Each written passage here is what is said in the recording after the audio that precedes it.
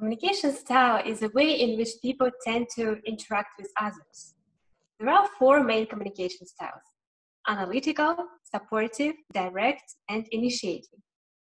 And of course, people can use many of them or few of them, but very often we have one that is our favorite.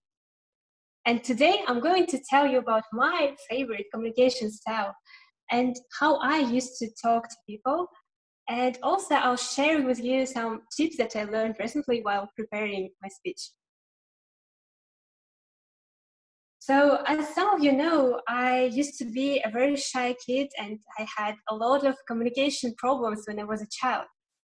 And I don't know why, but even asking a question from a stranger in a new place was an unsolvable problem for me. I remember that whenever I was trying to say something, invisible power was stopping me from doing it.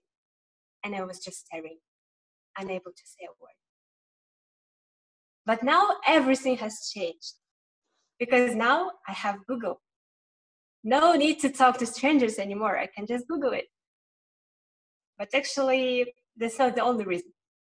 I somehow managed to learn some and gain some communication skills since that time and since I know how hard talking to someone can be, I try to be very approachable, amiable, and gentle during the conversation. I try to make the other person feel as comfortable as possible, try to avoid conflicts or any uncomfortable topics. Therefore, my communication style is supportive.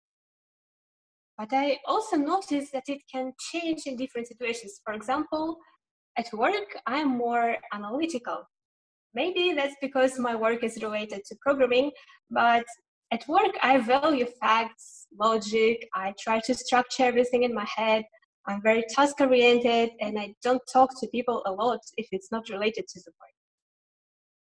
When I talk to people with initiating communication style, it's always a pleasure for me because they're so active, sociable, they always have ideas, and I don't need to think what to do or what to say. I just need to follow their energy. Talking to people with direct communication style can be challenging because they are very goal oriented, they value result and can be sometimes very strict and bossy. I remember I had a teacher who was very strict and demanding. I was a bit afraid of her, but since I tried to avoid conflicts, I was doing everything she asked and I didn't have any serious problems. So I told you about the ways how I interact with people, but actually there are some tips that you can use when you're talking to people with different communication styles. For example, when you're talking with people who have analytical communication style, it's better to tell them more facts or um, give them more information and data. When you're talking with people who have initiating communication style, you should give them more personal information and maybe some small talk could be helpful to build, to build the trust and connection with this person. And I agree that all these advices can be very useful. But what is more important, in my opinion, is understanding the main principles behind them. Uh, because in this case, you can communicate with any person, even if you don't know what kind of style he has. Recently, I watched a video of a person who worked on the radio and her name is Celeste Headlee. Uh, it was a TED Talks video, and she was giving some advices based on her experience, and I want to share some of them with you. The main advice she was giving was paying attention to the person you're talking with. Try to remember your best conversations when you were really enjoying it, when you were feeling connection, when you were feeling totally understood. Have it ever happened when you were cooking during the conversation or thinking about your work or doing something else like checking your phone? For me, it never happens in this way. I think because when you when you're not 100% concentrated on the conversation, people feel it and they are not totally engaged to the conversation as well. Another advice she gave was she said that all, very often we are listening to not to understand the person, we are listening to reply. Have you ever had the situation when you're you were telling something interesting to your friend and then he says something totally not related to anything you said before? Like i watched excellent movie recently.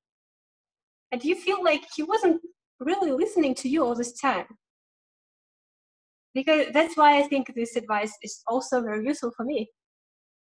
And the third advice she gave was that when you uh, that you shouldn't should be open to hear different opinion. You should be open to the people you're talking with. Because even if you think that this person is not very good maybe he knows something that you don't know.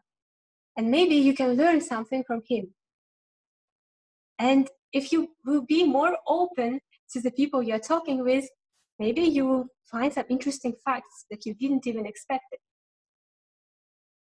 in conclusion of course understanding your communication style is very important because you will understand your strengths and weaknesses. You will know how to behave in different situations. But I believe that if you will pay attention to every person you're talking with, listen to him closely, and be open to new things, you you'll be able to find a common language with anyone. Back to you, Mr. Toastmaster.